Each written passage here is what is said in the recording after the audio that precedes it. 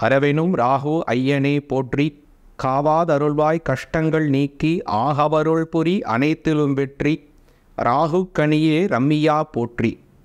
கேது தேவே கீர்த்தி திருவே பாதம் போற்றி பாவம் தீர்ப்பாய் வாதம் வம்பு வழக்குகளின்றி கேது தேவே கேண்மையாய் ரக்ஷி. சிவாய நமகா அடியாருக்கு அடியேன். சந்தோஷ் திரிமேனி சிவாச்சாரியார். டிவோட்டி நேஷன் தமிழ் நேர்கள் அனைவருக்கும் அன்பான வணக்கம். இந்த வருடம் ரெண்டாயிரத்தி இருபத்தி மூன்று அக்டோபர் மாதம் எட்டாம் திகதி ராகு கேது பெயர்ச்சிகள் நடைபெறுகிறது. மகர ராசிக்காரர்களுக்கு இந்த ராகு கேது பெயர்ச்சி எப்படி இருக்குங்கிறத தெளிவாக பார்ப்போம். கொஞ்சம் நல்லா வீடியோவை முழுமையாக பாருங்கள் பொதுவாகவே மகர ராசிக்காரர்களுக்கு இலகிய மனம் கொண்டவர்கள். அதே மாதிரி இந்த லக்னத்தினுடைய அமைப்பு நல்லா இருந்ததுன்னா எந்த செயலிலும் நிதானமான வளர்ச்சி இவங்கள்ட்ட இருக்கும்.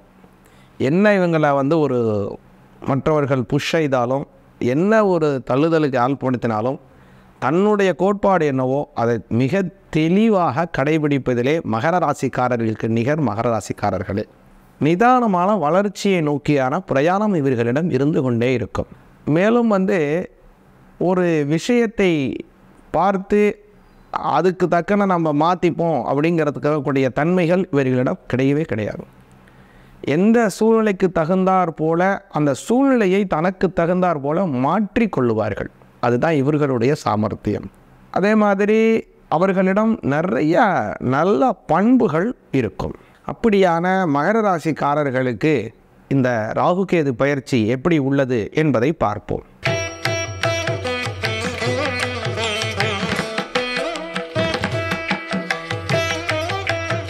பொதுவாகவே ரெட்டோகிரேட் மோஷன் என்று சொல்லுவார்கள்.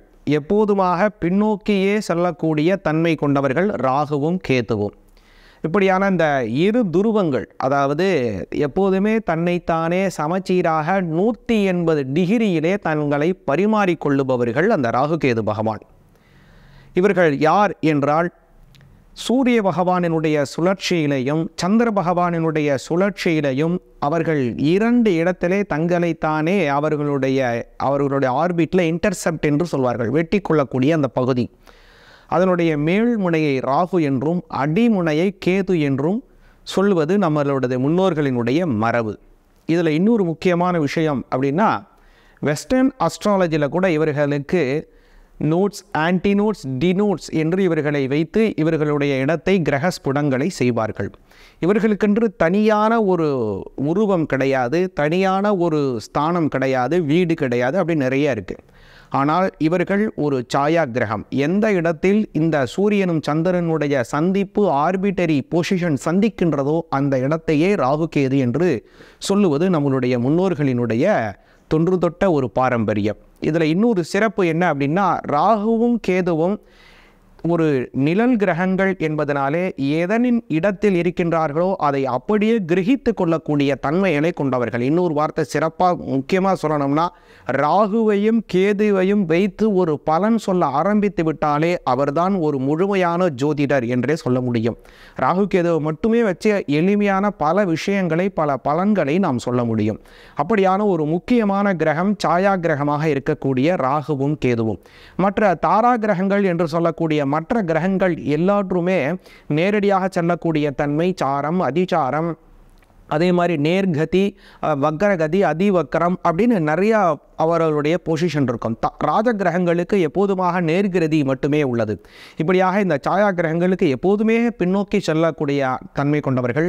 அதனால் இந்த வருடம் அவர்கள் வந்து பெயர்ச்சி அப்படிங்கிறது பார்த்தோம் அப்படின்னா மேஷத்திலிருந்து மீனத்திற்கு ராகு பகவான் வருகிறார். அப்படியே கேது பகவானை பார்த்தோமே ஆனால் துலா ராசியிலிருந்து கன்னி ராசிக்கு பெயர்ச்சி அடைகிறார். சொன்ன மாதிரி தான் அக்டோபர் மாதம் எட்டாம் தேதி ரெண்டாயிரத்தி இருபத்தி மூணு. எத்தனை காலம் அவர்கள் அங்கே இருக்க போகிறார்கள் என்று பார்த்தால் சற்றேறக்குறைய பதினெட்டு மாதங்கள். எதுவரை அப்படின்னு பார்த்தீங்கன்னா ரெண்டாயிரத்தி இருபத்தி ஐந்து ஏப்ரல் மாதம் இருபத்தி ஆறாம் தேதி வரை இவர்கள் அந்த இடத்திலே இருந்து அருள்பாலிக்கப் போகின்றார்கள். அப்படியான இந்த சமயத்தில் அவர்கள் வந்து இன்னொரு முக்கியமான விஷயம் என்ன அப்படின்னா இந்த ராகுவும் கேத்துவும் ஒரு முக்கியமான கிரகம். இவர்கள் வந்து நாம் எல்லோருக்கும் தெரிந்த விஷயம்தான் பார்க்கடலை கடையும் பொழுது அந்த அமிர்தத்தை பெற வேண்டும் என்னும் பொருட்டு இரண்டு புத்திரர்கள் அதாவது சிம்ஹிகா என்று சொல்ல சொல்லக்கூடிய அசுர புத்திரர்கள் அவர்கள் இருவருமாக தேவர்களுடைய பகுதியில் வந்து உட்கார்ந்து மோகினிடமிருந்து அமிர்தத்தை பெற்றுவிடுகிறார்கள் அந்த சமயத்திலே சூரியனும் சந்திரனும் அவர்களை காட்டிக் கொடுக்கிறார்கள். இவர்கள் அசுரர்கள் என்று சட்டு சட்டென்று தன்னுடைய ஆப்பை கையில் இருக்கக்கூடிய ஆப்பையை எடுத்த மோகினி இருவரையும் சமகாரம் செய்கிறார். இருந்த போதிலும் அமிர்தத்தை சாப்பிட்டதனுடைய விளைவாக அவர்கள் அமர்த்துவம் பெற்று இவர்களினுடைய தலை அவரனுடைய உடலும் அவரினுடைய தலை இவரினுடைய உடலும் பெற்று ஒற்றிக்கொள்கிறது அதனால தான் ராகு பகவானுக்கு பார்த்தோமேனால் மனித தலையும் உடல் பாம்பாகவும் இருக்கும். அதே போல கேது பகவானை பார்த்தோமையானால் தலை வந்து பாம்பாக இருக்கும் உடல் பார்த்தோமையானால் மனித உடல் இருக்கும். இப்படியாக அவர்களுடைய அங்கங்களும் தலைகளும் மாறிவிடுகிறது. அப்படியான சமயத்திலே தான் அவர்களுக்கு ராகு கேது என்று பெயர். இன்னொரு சிறப்பு என்னவென்றால் இந்த ராகு கேது பகவானை சூரியனும் சந்திரனும் காட்டிக் கொடுத்ததுனால தான் சூரியனும் சந்திரனையும் அவர்கள் வந்து அந்த ராகு கிறிஸ்தம் கேது கிறிஸ்தமான சமயத்திலே அவர்களுக்கு கிரகணம் ஏற்படுகிறது. ஒரு நாள் என்பது வாரத்திலே ஏழு நாட்களை ஒவ்வொரு கிரகத்திற்கும் என்று நம் முன்னோர்கள் பிரித்தார்கள். ராகுக்கும் கேதுக்கும் நாட்கள் இல்லையே என்று நாம் யோசிக்கின்றோம். ஆனால் ஒரு நாளிலே ஒன்றரை மணி நேரம் ராகு காலம் என்றும் ஒன்றரை மணி நேரம் அவருக்கு யமகண்டம் என்கிற அந்த பகுதியை நாம் பிரிக்கின்றோம். அப்படியாக ஒரு வாரம் முழுவதும் நாம் பார்த்தோமே ஆனால் ஒரு நாளில் மூணு மணி நேரம் கட் ஆகும். இதை நம்ம பார்த்தோம்னா இருபத்தி நாலில் இருபத்தி ஒரு மணி நேரம் தான் வரும். இப்படியாக அந்த மூணு மணி நேரம் மூணு மணி நேரம் ஏழு நாட்களையும் நாம் கூட்டி பார்த்தோம்னா இது தனியாக பார்த்தீங்கன்னா இருபத்தி ஒரு மணி நேரம் வந்துடும் இப்படியாக ராகு இருக்கும் ஒவ்வொரு நாளிலும் அவர்களுக்கென்று தனியாக காலத்தை ஒதுக்கினார்கள் நமது முன்னோர்கள். இப்படியான ஒரு அதீதமான சக்தி கொண்டவர்கள் ராகுவும் கேதுவும் ஒரு மனிதனுக்கு நல்ல இடத்தில் இருந்தார்களே ஆனால் அதிகமான நன்மைகளை கொடுக்கக்கூடிய இடத்தில் இருப்பார்கள். அதே மாதிரி கெடுபலன் கொடுக்கக்கூடிய இடத்தில் அவர்கள் இருந்தாலும் கடுமையான கெடுதலை அவர்கள் குடிப்பார்கள். அப்படியாக இந்த ராகு கேது பகவானினுடைய பயிற்சி இப்போது நடைபெறுகிறது. ராகு கேது இதுவரை இருந்த இடம் அப்படிங்கிறது நாலு அப்புறம் பத்து அப்படிங்கிறது அதனால் நிறையா தொழில் ரீதியான பிரச்சனைகள் முடக்கு சில காரியத்திலே முடக்கம் எதிரிகளினுடைய கை ஓங்குதல் அப்படின்னு நிறைய பிரச்சனைகள் ஏற்பட்டிருக்கும். இப்போ உள்ள காலம் அப்படிங்கிறது மகர ராசிக்காரர்களுக்கு ஒரு அருமையான நல்ல காலம் என்று சொல்லலாம். ஏன் அப்படின்னா மகர ராசியிலிருந்து மூன்றாவது ராசியான மீன ராசிக்கு தைரிய வீரிய சகோதர ஸ்தானம் என்று சொல்லக்கூடிய அந்த இடத்திற்கு ராகு வருகிறான். ராகு பகவான்கிறவர் போக போகத்திற்கும் அதே மாதிரி மணி மந்திரம் ஔஷதம் இதற்கெல்லாம் அதிபதி அவர் வருகிறார். அதே மாதிரி ஒன்பதாம் பாவம் என்று சொல்லக்கூடிய ஒரு முக்கியமான இடம். மகர ராசிக்கு ஒன்பதாம் இடம் ரொம்ப முக்கியம். அப்படியான இடத்திற்கு கேது பகவான் வருகிறார். ஏன்னா மகர ராசிக்கு பார்த்தீங்கன்னா சூரியன் பகையாக வருவார். எட்டாவதுக்கு அதிபதி. அதனால் எட்டாம் இடம் ஒரு சூரியன் அவர் ஒரு நல்ல பலன் தரக்கூடிய இடத்தில் இல்லை மகர ராசிக்காரர்களுக்கு. அதனால் ஒன்பதாம் இடம்ங்கிறது ஒரு வலிமையான இடம். பொதுவாகவே மகர ராசிக்காரங்களுக்கு ஒன்பதாம் இடத்துல எந்த கிரகம் இருக்கோ அது பலவிதமான நன்மைகளை உங்களுக்கு வழங்கும். அப்படியானால் இந்த ஒன்பதாம் இடத்திற்கு கேது பகவான் வருகிறார். அந்த சமயம் அப்படிங்கிறது இறைவனனுடைய வழிபாட்டிலே நல்ல வெற்றிகள் கிடைக்கக்கூடிய காலமாக இருக்கும்.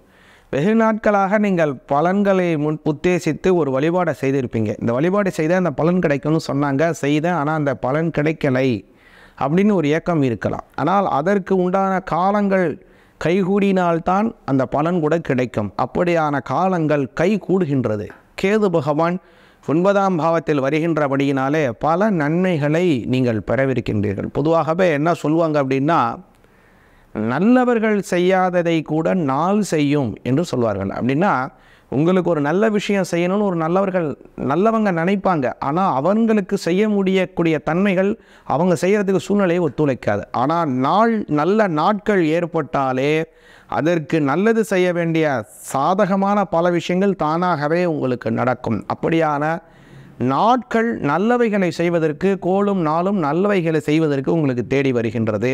மூன்றாம் பாவத்தில் வரக்கூடிய ராகு பகவான் பல மாற்றங்களை ஏற்படுத்தி தருகிறார். முக்கியமாக இடமாற்றம் அதே மாதிரி வந்து வாகனத்திலே ஏதாவது ஒரு மாற்றம் செய்ய வேண்டும். புதிய வாகனங்கள் விலை உயர்ந்த வாகனங்களை நாம் வச்சுக்கணும் அப்படின்னு ஆசைப்படுறவங்களுக்கெல்லாம் வரக்கூடிய சமயத்தில் அவைகள் எல்லாம் நடப்பதற்கு வாய்ப்புகள் உள்ளது. ராகு பகவானினுடைய அந்த சாரம் அருமையாக இருக்கின்றபடியினால சகோதரர்களுடன் இருந்த உங்களுக்கு கருத்து வேறுபாடு சகோதரனுடைய குடும்பத்திற்கும் உங்களுக்கும் இருந்த ஒரு முரண்பாடுகள் அவைகள் எல்லாம் கலையப்பற்றி அவர்களுக்கும் உங்களுக்கும் ஒரு சுமூகமான உறவுகள் அமைவதற்கும் பூர்வீக சொத்துக்கள் உங்களுக்கு சேருவதிலே இருக்கக்கூடிய சிரமங்கள் நிவர்த்தியடைந்து பல நன்மைகள் கிடைப்பதற்கும் வாய்ப்புகள் உருவாகுகின்றது. அதே மாதிரி பார்த்தீங்கன்னா கேது பகவான் ஒன்பதாம் இடத்திற்கு வருகிறார். ஒன்பதாம் இடம் அப்படிங்கிறது முன்னாடியே சொல்லியிருக்கோம் உங்களுக்கு. அந்த ஸ்தானம் ஒரு நல்ல அருமையான ஸ்தானம். மகர ராசிக்காரர்களுக்கு பித்து ஸ்தானம்னு பேர். அதே மாதிரி மணி மந்திர ஔஷதத்தை எல்லாம் வெற்றி தரக்கூடியது ஒன்பதாம் வாரம். ஆராய்ச்சியிலே வெற்றி பெறுவதற்கான வாய்ப்புகள் தருவதற்கெல்லாம் ஒன்பதாம் பாவம் ரொம்ப முக்கியம். அந்த இடத்திலே கேது வருகின்றபடியினாலே உங்களுக்கு அந்த ம பூர்வீகத்தில் இருக்கக்கூடிய பல நன்மைகள் உங்களுக்கு பூர்ணமாக கிடைக்கும். அந்த கேதுவினுடைய அனுகிரகத்தினாலே உங்களுக்கு என்னென்ன நன்மைகள் அப்படின்னா உத்தியோகத்திலே உயர்வான அந்தஸ்துகள் ஏற்படுவதற்கும் பண வரவுகள் நீண்ட நாட்களாக தேக்க நிலையில் இருக்கக்கூடிய பண வரவுகள் உங்களிடம் பரிபூர்ணமாக வருவதற்கும் அதே மாதிரி வெகு நாட்களாக உங்களுக்கு ஒரு கௌரவம் கிடைக்கவில்லை ஒரு பணி செய்து முடிச்சிருக்கீங்க ஒரு அளப்பரிய பணிகளை செய்து முடித்து அதையெல்லாம் உங்களுக்கு ஒரு அங்கீகாரம் கிடைக்கலையே என்கிற ஏக்கத்துடன் இருப்பவர்களுக்கும் அந்த அங்கீகாரம் கிடைப்பதற்கும் ஒரு ப்ரமோஷன் கிடைப்பதற்கும் வாய்ப்புகள் உள்ளது.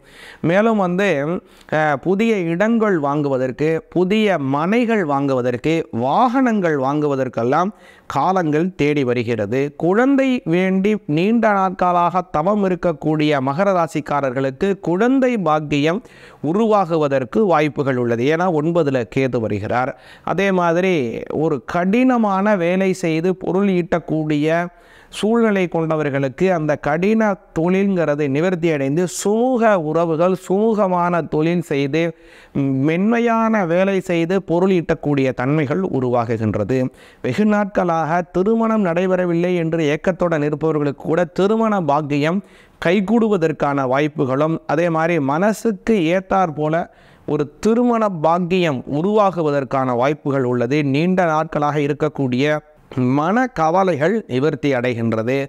உத்தியோக உயர்வை அடையவிருக்கின்றீர்கள். வெளிநாடு சென்று ஒரு வேலை பார்க்கணும் அப்படின்னு ஆசை இருப்பவர்களுக்கு வெளிநாடு செல்வதற்கான வாய்ப்புகள் எல்லாம் தேடி வருகிறது. முக்கியமாக மகர ராசியில் பிறந்த தொழில் சொந்த தொழில் செய்பவர்களுக்கெல்லாம் அமோக வளர்ச்சிகள் ஏற்படவிருக்கின்றது. சொந்த தொழில் செய்பவர்களுக்கு வேலையாட்களால் பிரச்சனைகள் நீண்ட நாட்களாக இருந்து வருகிறது.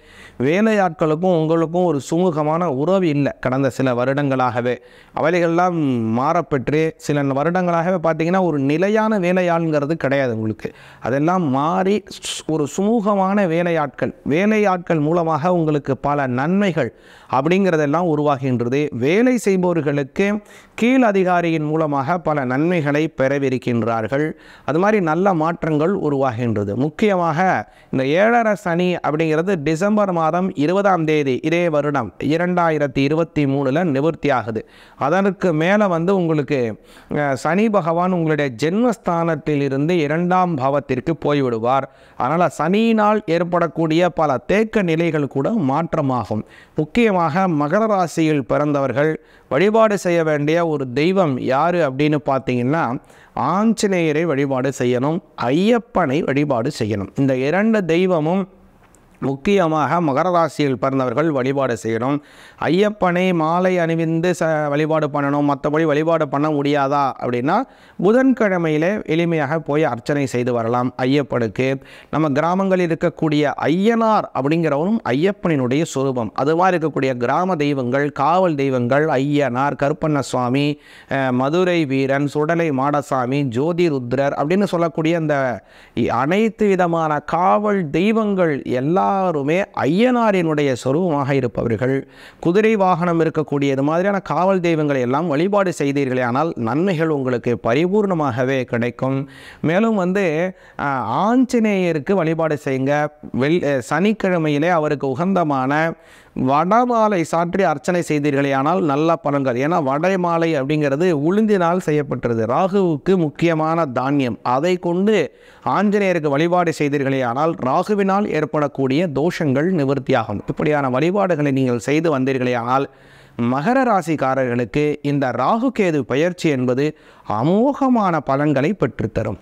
மேலும் இந்த ராகு கேது பெயர்ச்சினாலே உங்களோட தனித்துவமான உங்கள் ஜாதகத்திற்கு எப்படி பலன்கள் கிடைக்கவிருக்கின்றது? ராகு கேது திசையிலே உங்களுக்கு எப்படியான பலாபலன்கள் கிடைக்கும்? என்கிற உங்களோட தனித்துவமான உங்களுடைய குடும்ப நலன் சார்ந்த ஜாதக ஆலோசனை பெறுவதற்கு கீழ்காணும் வாட்ஸ்அப் நம்பரிலே தொடர்பு கொள்ளவும். சிவாய நமகா.